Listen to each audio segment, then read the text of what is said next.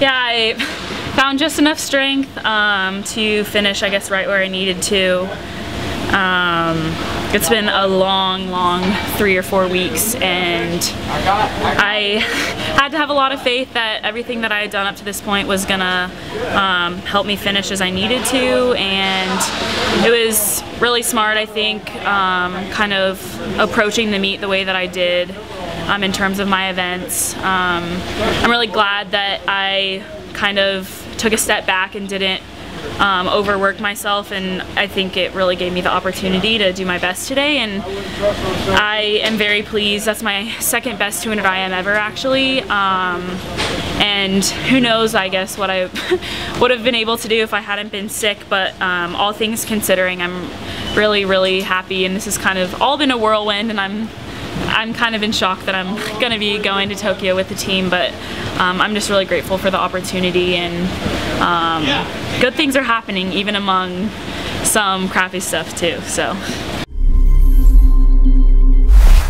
I had really, really high goals for myself in multiple events and I've had the best training of my life um, up until July 2nd when I found out that I wasn't going to be able to train anymore and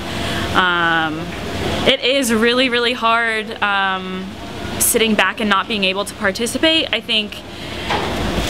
among all of this, the biggest thing that I learned was how much I actually really enjoy competing and um, having to step back was really, really difficult and I never really would have been able to guess that I would have been so upset not to be in the 400 IM. Um, that's a beast of a race, but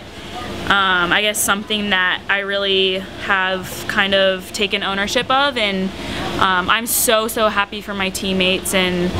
one day I'll be in the mix again um, to be able to race with them and um, I'll be able to continue to train with them um, through those events but it was really hard and being able to control my emotions through that was um, definitely a challenge. I knew that I wasn't going to really be all invested until the last day um, after my prelims and my 200 fly I decided okay I'm gonna rest up for the 200 IM and um, it took a lot to kind of try to stay calm, try to focus on what I was doing and try to kind of step back emotionally emotionally from the meet for a couple of days and um, but I've learned so much about myself and um, I couldn't be more grateful for all the people that have kind of come into my life even out of the woodworks um, to support me and um, I'm feeling really loved um, and I couldn't be more grateful for everyone that's kind of stepped in to um, support me through all of this. Two weeks and then I got back in the water for a couple days didn't feel great had to take a couple more days off and then after that um, did stuff close to meet warm-ups um, until I got here um, and did some pace I guess two or three days before my 200 to see kind of how my body would react and um, I was just fine um, and then this this whole thing has been quite an experiment, um, especially with my 200 fly, fly prelims. And I have to say, for not swimming that long, I'm very pleased with the 210. I think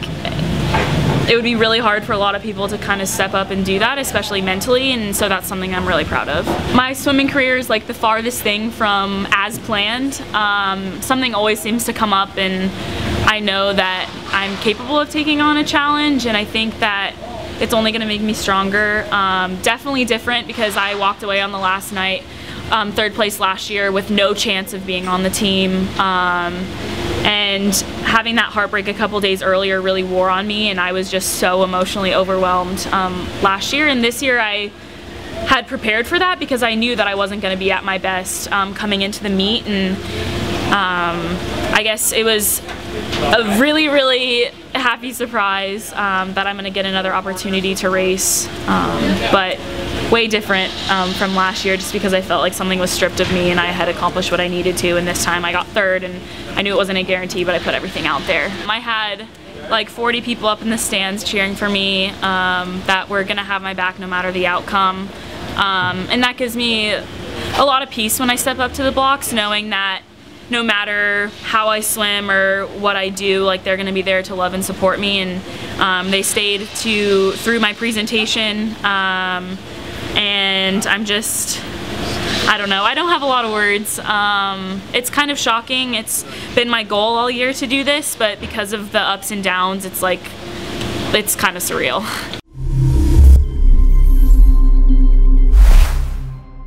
initial thought was no. We um, this team is, I think, has a lot of. Um, people that maybe didn't necessarily expect to make it and there weren't that many doubles in terms of events and so third place wasn't a guarantee at all and my assumption was that I hadn't made it and I couldn't have been upset with the result that I had but obviously I was sad because of the whole situation and um, my coach walked over to me afterwards and was like I think you need to warm down just in case um, and I was going to do that anyways to kind of like filter my thoughts and um, I don't know I always feel better in the morning when I warm down and I was sitting in drug testing and Greg texted me and he's like, it's official, you're in. And I, like, my heart sank, but in like the good way where I couldn't believe that it was happening. Um, but it was a full hour after I had raced that I actually found out.